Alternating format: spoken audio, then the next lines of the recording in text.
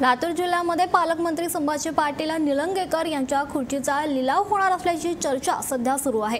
आतापर्यंत दीड हजार शेतकऱ्यांनी यामध्ये सहभाग नोंदवलेला आहे. पालकमंत्री जिल्ह्यातील शेतकऱ्यांच्या समस्यांकडे दुर्लक्ष करत असल्याचा आरोप भाजपच्या कार्यकर्त्यांनी केलाय. भाजपचे जनसंघापासूनचे समर्थक असलेले सीएम बिराजदार यांनी संभाजी पाटील निलंगेकर यांच्या खुर्ची लिलावासाठी शंभर रुपयांची अनामत भरली आहे गोपीनाथ मुंडे विचार मंच हा भाजपाचा देवणीमध्ये मोठा जनाधार मानला जातो आणि या विचार मंचातील अनेक कार्यकर्त्यांनी आज शिवसेनेकडून करण्यात येत असलेल्या पालकमंत्री संभाजी पाटील निलंगेकर यांच्या खुर्चीच्या लिलावामध्ये सहभागी होण्यासाठी अनामत पावत्या फाडल्या. या संदर्भात भाजप कार्यकर्त्यांशी बातचीत केली. आमचे प्रतिनिधी विष्णू बुर्गे यांनी. पाटील निलंगेकर यांच्या खुर्चीच्या लिलावाची चर्चा जिल्ह्याभरात आहे आणि आज भाजपच्या कार्यकर्त्यांनी सुद्धा यामध्ये सहभाग नोंदवलेला आहे. कारण जनसंघापासून आतापर्यंत तुम्ही प्रवास केलेला आहे भाजपमध्ये.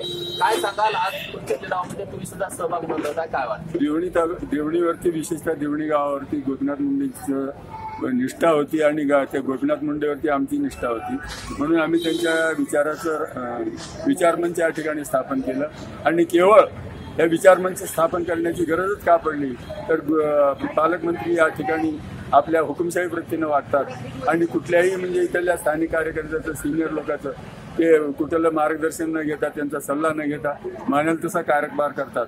आणि आता तरी सगळं शेतकऱ्याचे प्रश्न आहेत आणि जेवणीकडे होणारं दुर्लक्ष आहे. या सर्व गोष्टीला कंटाळून आम्ही पालकमंत्र्याच्या खुर्चीच्या लिलावामध्ये सहभाग नोंदवलेला भरामध्ये शेतकऱ्यातून आणि सर्व पक्षातील जाणकार लोकांमधून प्रचंड मोठा प्रतिसाद आहे. हा विषयच एवढा जिव्हाळ्याचा आहे. शेतकऱ्याच्या जीवन मरणाचा आहे.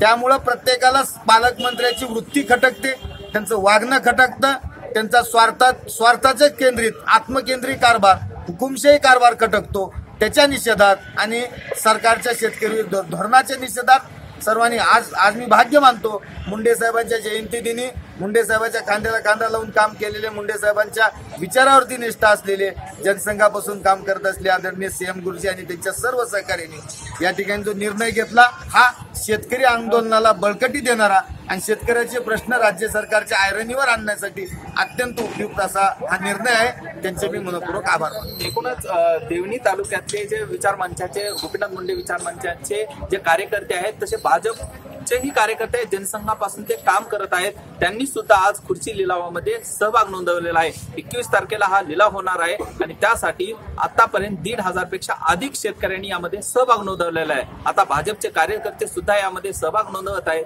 त्यामुळं खुर्ची लिलावाचं आता जे जे राजकारण या पद्धतीनं चाललेलं आहे ते आता कशा पद्धतीनं त्या दिवशी खुर्ची लिलावा दिवशी होणार हे पाहणं औत्सुक्याचं ठरणार आहे. विष्णुपुर्गे महाराष्ट्र वन देवणी.